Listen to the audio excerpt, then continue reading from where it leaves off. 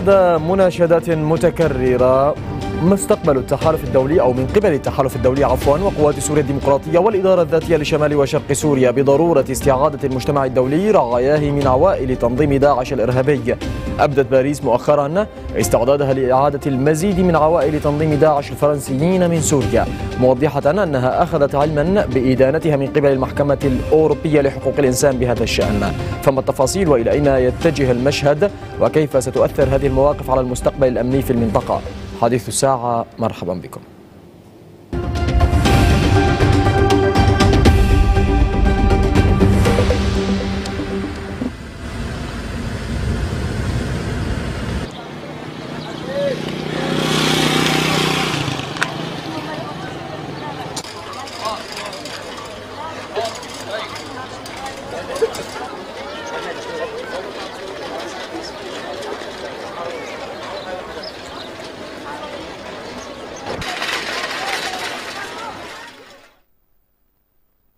بهذا الصدد ينضم إلينا من شمال وشرق سوريا الأستاذ جوان غيسو المحامي والناشط الحقوقي. أستاذ جوان مرحبا بك في حديث الساعة وعلى شاشة اليوم. اذا باريس تبدي استعدادها.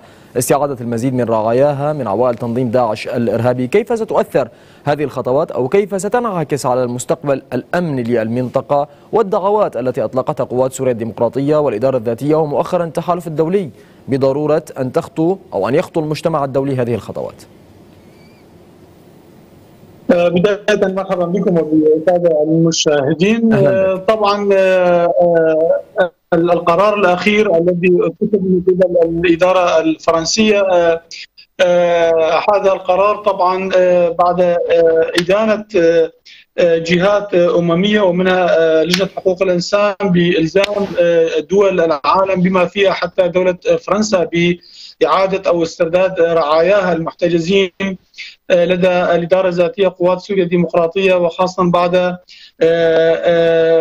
انهيار الدولة الإسلامية داعش على يد قوات سوريا الديمقراطية. هذا التنظيم الإرهابي الذي كان يشكل خطرا على المنطقة بالكامل وعلى سوريا وشمال وشرق سوريا. لذلك الإدارة الذاتية تشدد وبقوة على ضرورة أن تقوم كافة الدول التي لها رعايا في مخيم الهول والمخيمات الأخرى باستردادهم والانتباه بأن غالبية المحتجزين أو ضمن هذا المخيم تجاوز أعمارهم الثامنة عشر وبدأوا يشكلوا خطر على المنطقة بالكامل. فالموقف الفرنسي طبعا سبقت وإدارة اداره الحكومة الفرنسية حسب المعلومات لدي بأنها قامت في شهر تموز الماضي باستعادة أكثر من 35 طفلا وأكثر من 16 من والداتهم إلى إلى فرنسا. ولكن الموضوع برأيي أعتقد بحاجة إلى جدية ومسؤولية عالية من جميع الدول بما فيها فرنسا.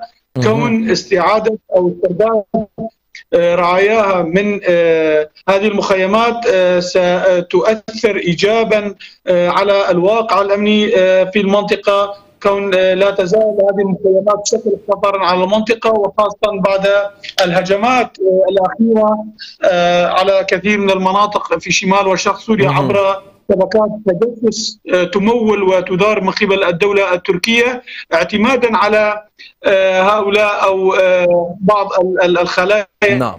النائمة التي تنسق وتجهز ضمن هذه المخيمات. طيب اليوم الخطوة الفرنسية أستاذ جوان هل من الممكن أن تكون يعني إذا جاز لنا وصفها بالتشجيعية لدى المجتمع الدولي كي تقوم كل دولة باستعادة رعاياها أم أن يعني هذه الخطوات الفرنسية ربما ستكون منفردة ولن تحقق نتائج. يعني من الناحية الدولية أستاذ جوان هنا نتحدث.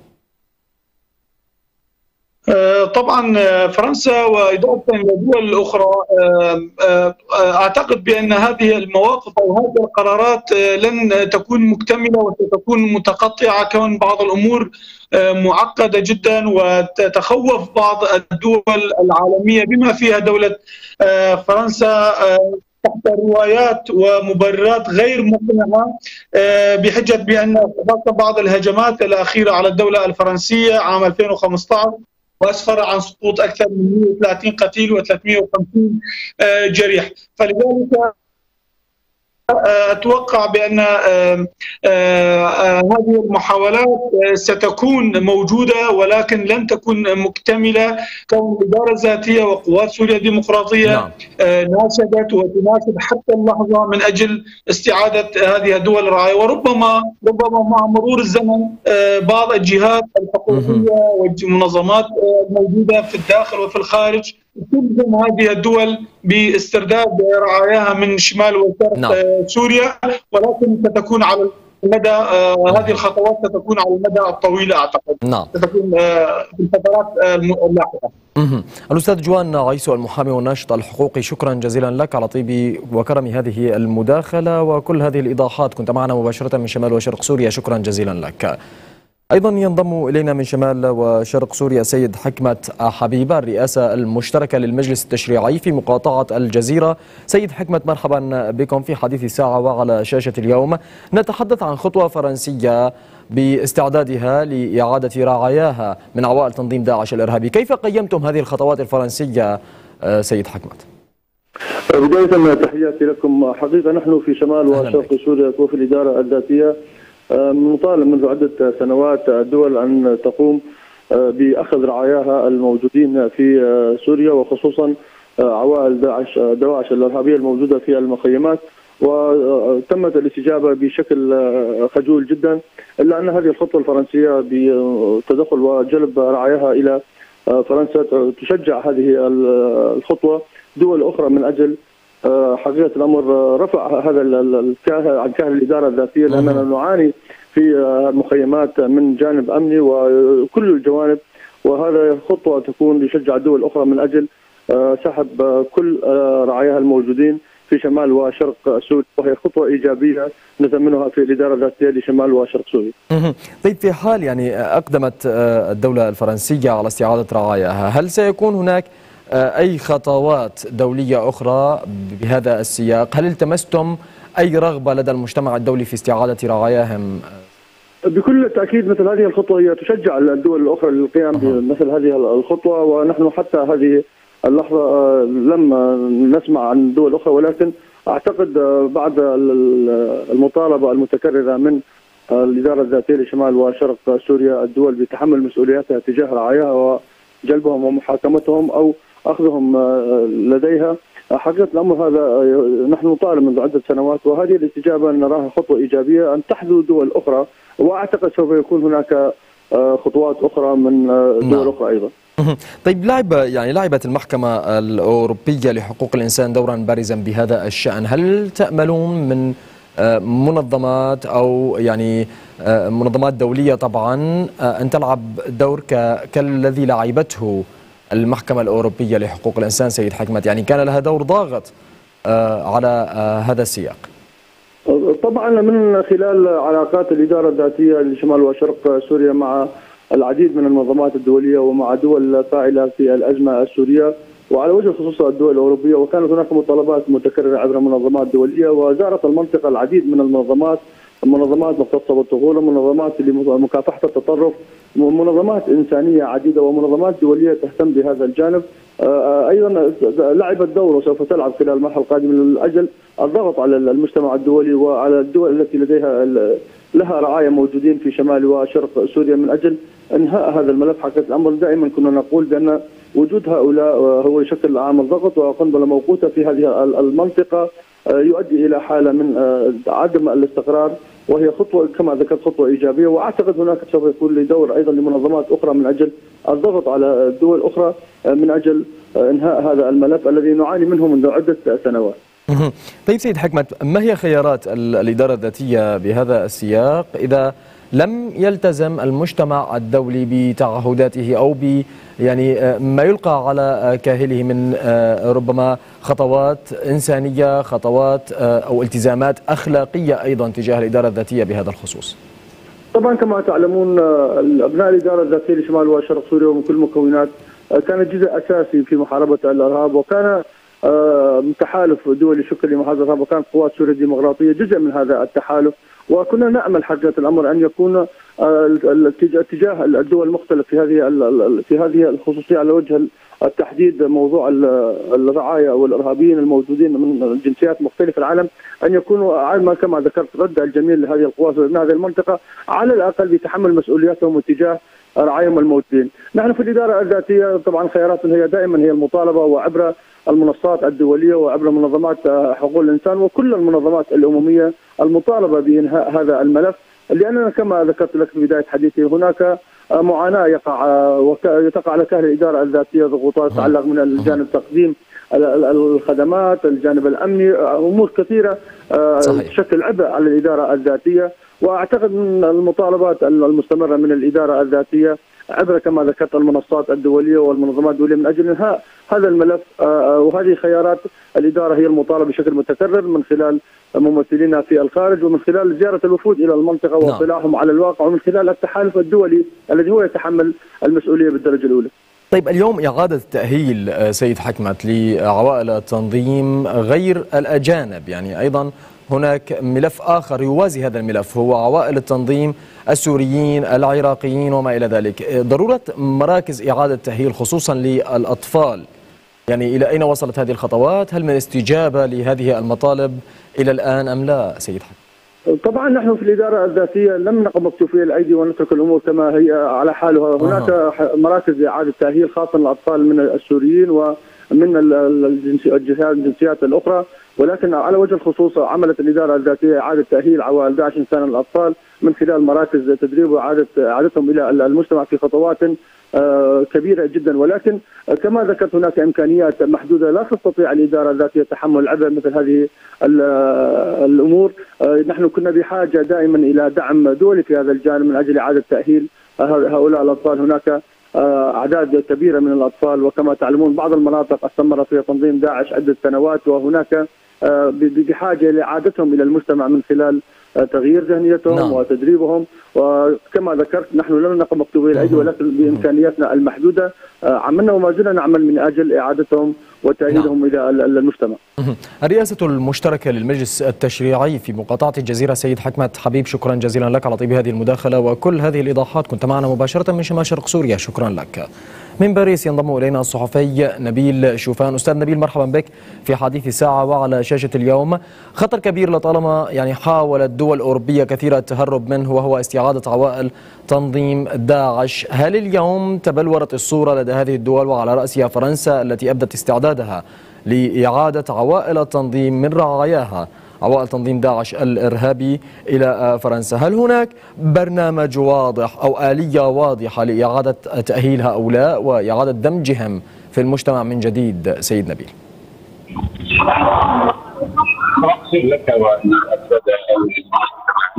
أهلا بك. متكامله اعاده هؤلاء خصوصا نتحدث عن النساء ال 75 المتنقيات في مخيم الأول وأيضا اطفالهن البلد 150 وفرنسا كانت ساعدت على حل هذا الضيف في حل قرار المحكمه الاوروبيه كانت سعادة 30 امرأة وأكثر من ذلك من الأطفال 60 طفلا خلال الصيف الماضي وتم آه، يعني عرض هؤلاء النسوة على القضاء آه، الفرنسي وأيضا تم المنظمات لكي ترعاهم خصوصا ان غالبيه العظمى الرجال الذين رجال الأباء هؤلاء حصلوا أو حكموا في العراق خلال السنتين الماضيتين منذ عام 2019 وحتى الآن. إذا أردت تعمل على هذا الموضوع ولكن هناك يعني يوم المحكمة الأوروبية طالبت بالتسريع دراسة هذه الملفات وإعادة النظر ببعضها آه، uh,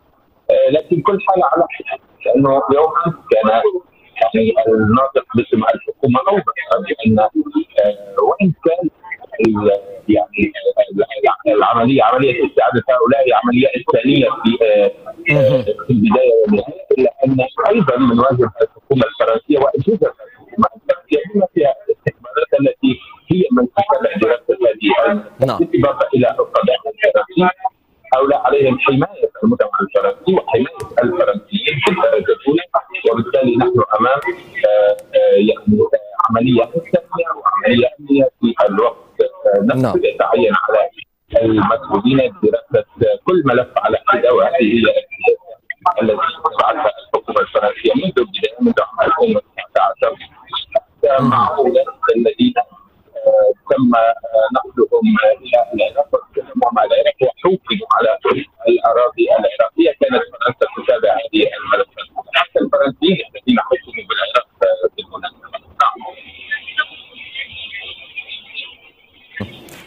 يعني سيد نبيل اليوم يعني فرنسا عانت ما عانته من خطر آه، آه، إرهابي تنظيم داعش ما الأصداء يعني في الشارع الفرنسي تجاه هذه الخطوات التي آه، اتخذتها باريس أستاذ نبيل هل هناك قبول لمثل هذه الخطوات؟ يعني اولا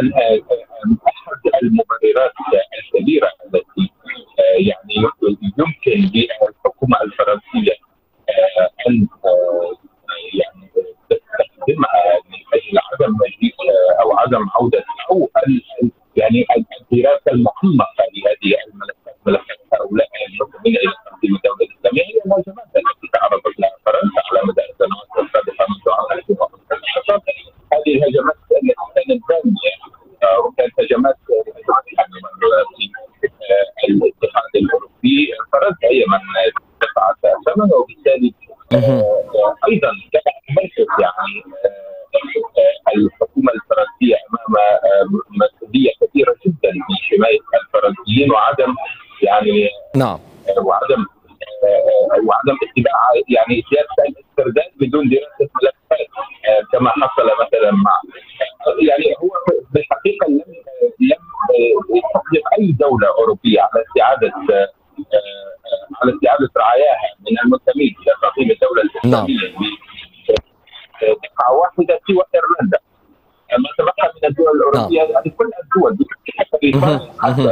نعم.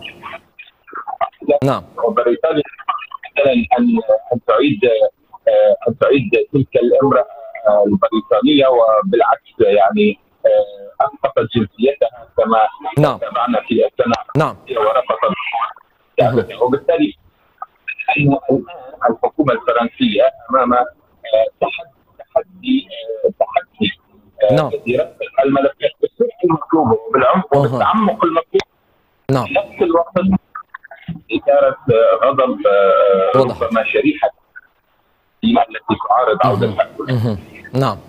الصحفي نبيل شوفان شكرا جزيلا لك على طيب هذه المداخلة وكل هذه الإيضاحات. كنت معنا مباشرة من باريس. شكرا جزيلا لك. ونعتذر عن رداءة الصوت من المصدر مشاهدينا الكرام.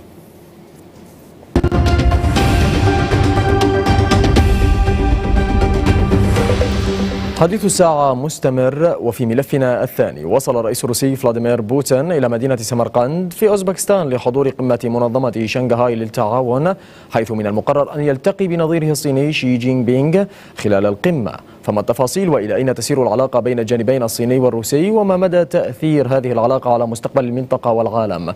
أسئلة أوجهها لضيوفي في هذا الملف ابقوا معنا.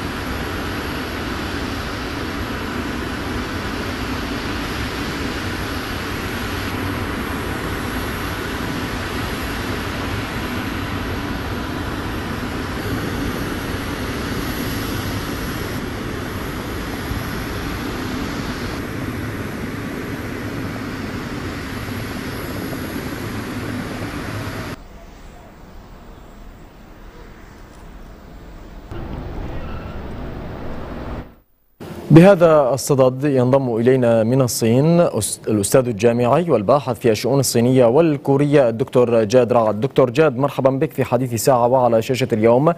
إذا يعني لقاء قمة مرتقبة بين الزعيمين الروسي والصيني على هامش يعني آه، آه، لقاء منظمة شنغهاي للتعاون في سمرقند. دكتور جاد أهمية هذا اللقاء بهذا التوقيت؟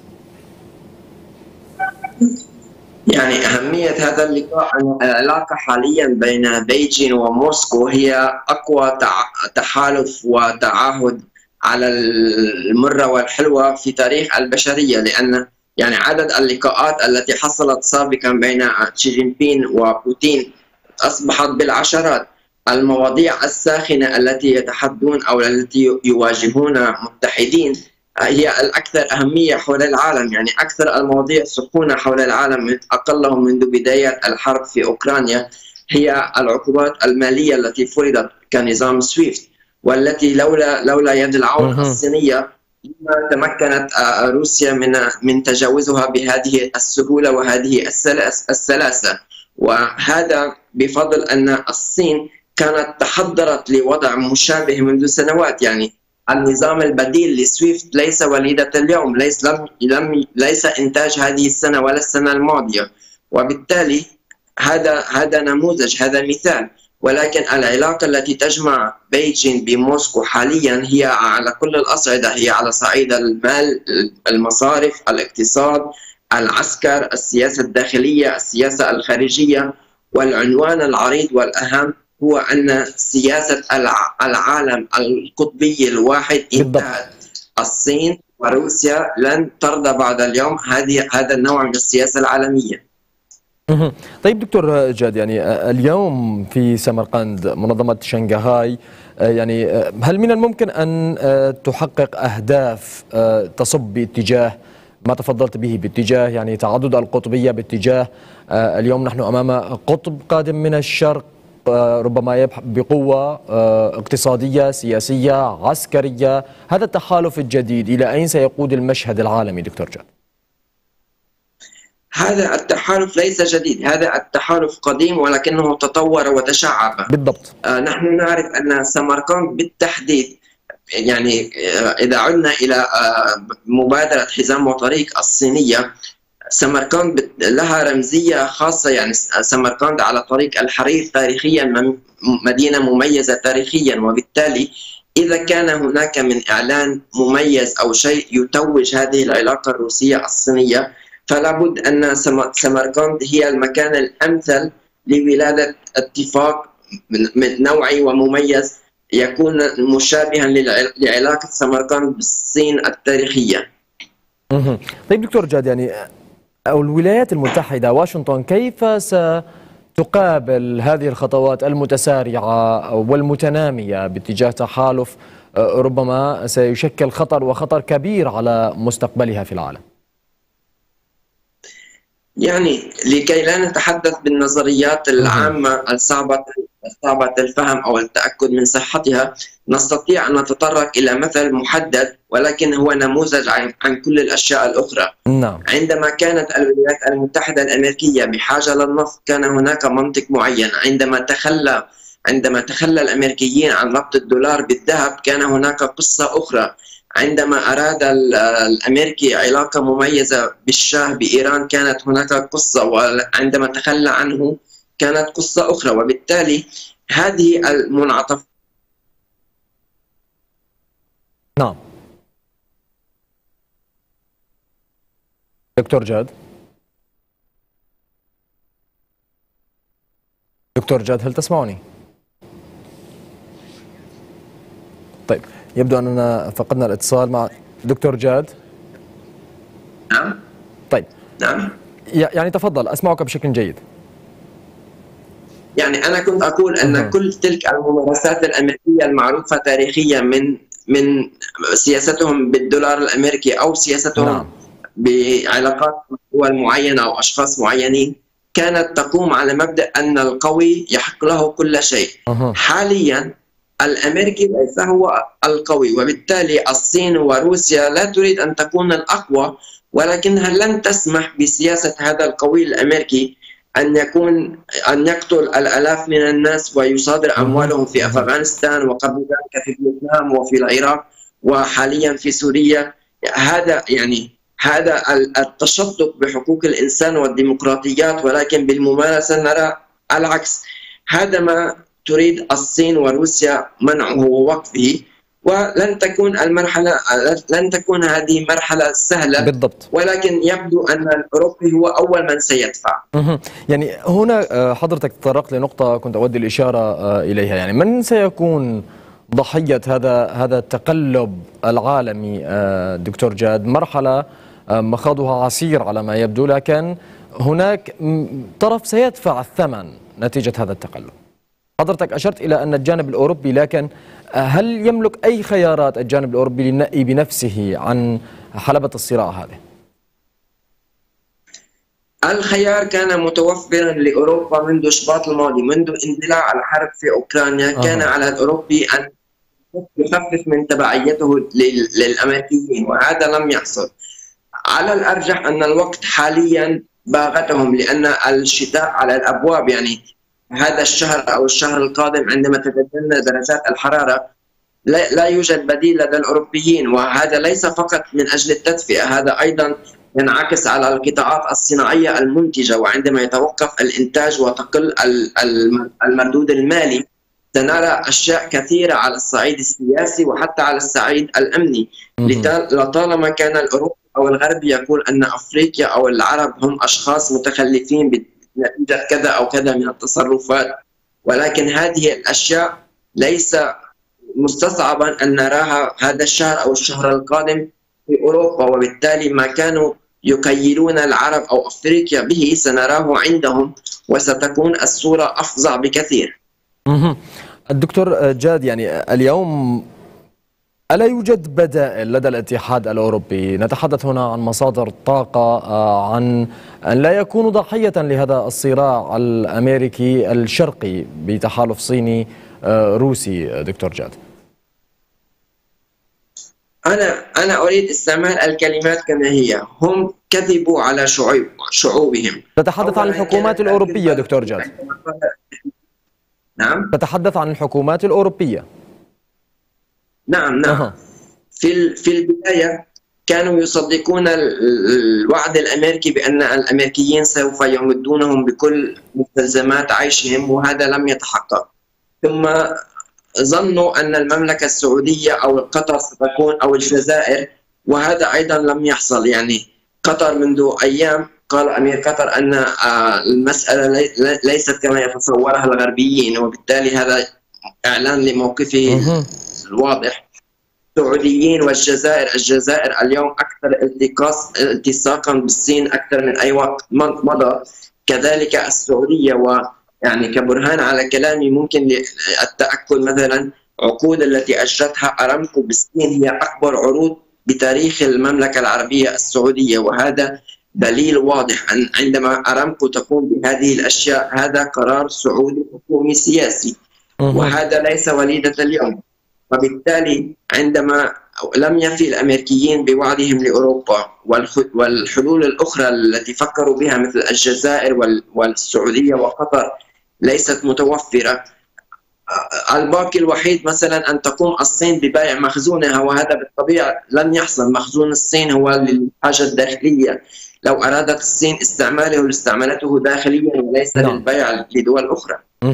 الدكتور جاد رغد الأستاذ الجامعي والباحث في الشؤون الصينية والكورية شكرا جزيلا لك على كل هذه الإيضاحات. كنت معنا مباشرة من الصين شكرا جزيلا لك.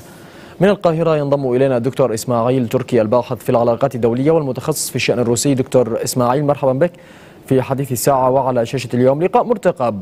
بين آه، موسكو وبكين على هامش آه، يعني قمة آه، قمة منظمة شنغهاي للتعاون في سمرقند دكتور إسماعيل أهمية. هذا اللقاء انعكاساته على مستقبل العلاقات بين الجانبين دكتور.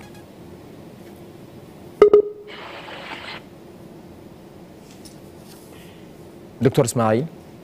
يعني؟ دكتور هل تسمعني؟ تحياتي لحضرتك. أهلا بك.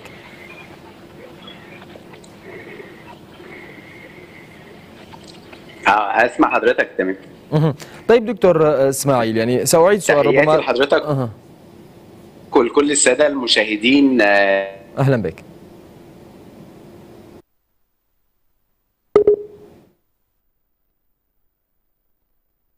دكتور؟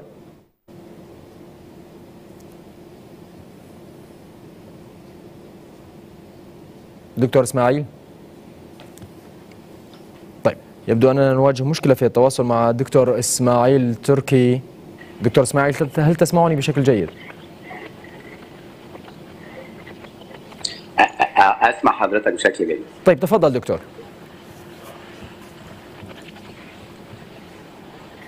دكتور يعني كنا نتحدث كنا نتحدث عن عن قمة مرتقبة بين آه، يعني الصين وروسيا على هامش آه، يعني لقاءات منظمة شنغهاي للتعاون. أهمية هذه هذا اللقاء هذا لقاء القمة بين الصين ويعني روسيا. أهمية هذا اللقاء بالنسبة للجانبين انعكاساته على المنطقة في المستقبل دكتور. يعني خليني أقول لحضرتك إنه آه، الاجتماع المرتقب في سمرقند آه، ما بين آه، الرئيس الروسي والرئيس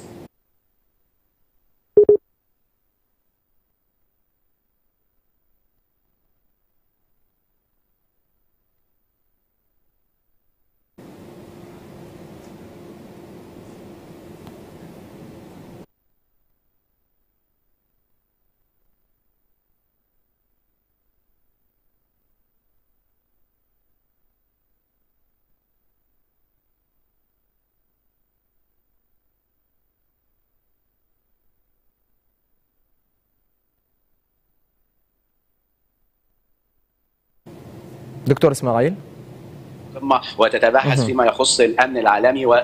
أيوه أسمع طيب تفضل. دكتور تفضل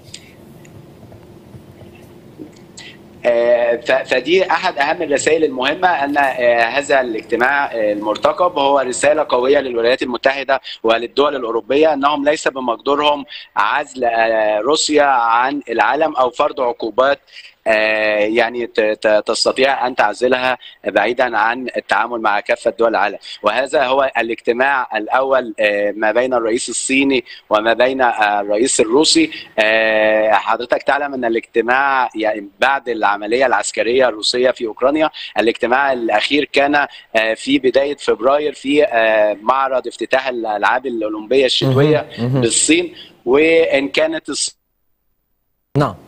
الصين تدعم روسيا بشكل كبير آه، من خلال مواقف معينة إلا أن الأحداث التي تدور في العالم سواء كانت العملية العسكرية الروسية أو الاستفزازات الأمريكية للصين في آه، تايوان كل هذه الأمور جعلت أن هناك آه، يعني ترتيبات أخرى من الأقطاب الصاعدة كروسيا والصين وعدد من الدول المجاورة منها. حضرتك تعلم أن اجتماع نعم. القمة سيكون به إيران وتركيا والهند وعدد آخر من دول المنظمة. كمان سيتم التباحث في كيفية الموافقة على ضم آه، إيران للمنظمة آه، ب- ب- نعم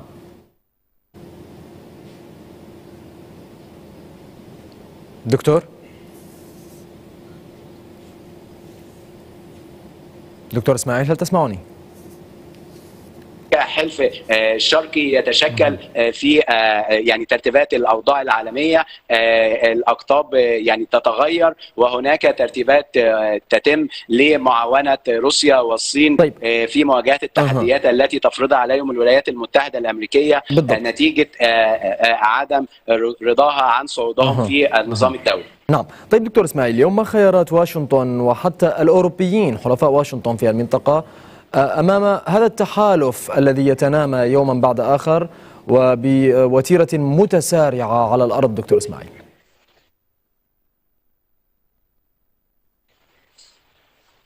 دكتور؟ يبدو أننا نواجه مشكلة في التواصل مع دكتور إسماعيل تركي الباحث في العلاقات الدولية والمتخصص في الشأن الروسي. شكرا جزيلا لك على طيب هذه المداخلة. وكل هذه الإيضاحات كنت معنا مباشرة من القاهرة. شكرا جزيلا لك. إذا مشاهدينا الكرام بهذا نكون قد وصلنا إلى نهاية حديثنا لهذه الساعة. أما لمواضيع أوسع فيمكنكم زيارة موقعنا الإلكتروني اليوم تي في دوت نت. دمتم بخير وإلى اللقاء.